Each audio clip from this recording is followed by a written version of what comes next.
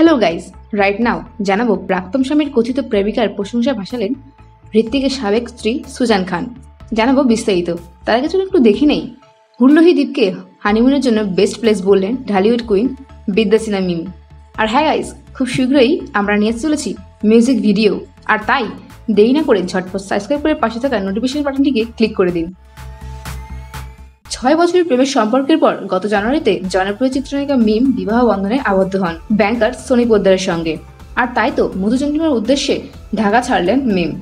গন্তব্য মালদ্বীপের হুরলোহি দ্বীপ। মালদ্বীপের মেইন সিটি থেকে সি প্ল্যানে আধা ঘণ্টার পথ এই দ্বীপ।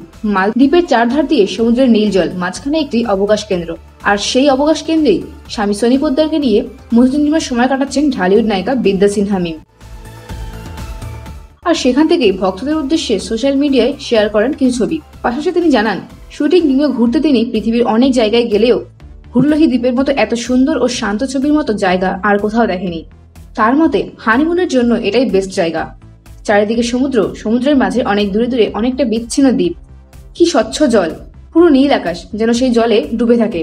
সময় কাটানোর জন্য এত সুন্দর জায়গা আর কোথাও দেখা হয়নি আমার। সময়টা খুবই উপভোগ করছি আমরা।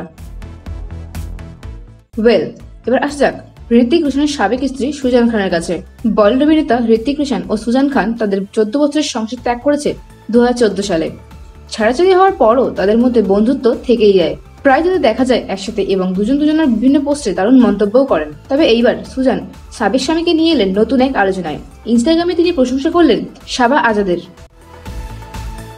সোশ্যাল মিডিয়ায় অনেকদিন ধরেই গুজব চলছে ঋত্বিকের নামের সঙ্গে সাবা আজাদের নামের। প্রেম করছেন নাকি সাবা ও ঋত্বিক এবং এমনই কিছু ছবি ভাইরাল হয়েছে সোশ্যাল মিডিয়ায়। সোমবার একটি ক্লাবে ভ্যালেন্টাইন্স ডে উপলক্ষে অভিনেত্রী সাবা ও গায়িকা গান গাইতে উপস্থিত ছিলেন এবং ওখানে উপস্থিত ছিলেন সুজান খানও। সুজান খান সাবার গান শুনে মুগ্ধ হয়ে যান এবং কথিত প্রেমিকার গান গাওয়ার ছবি ধারণ করলেন সুজানের মোবাইল ফোনে।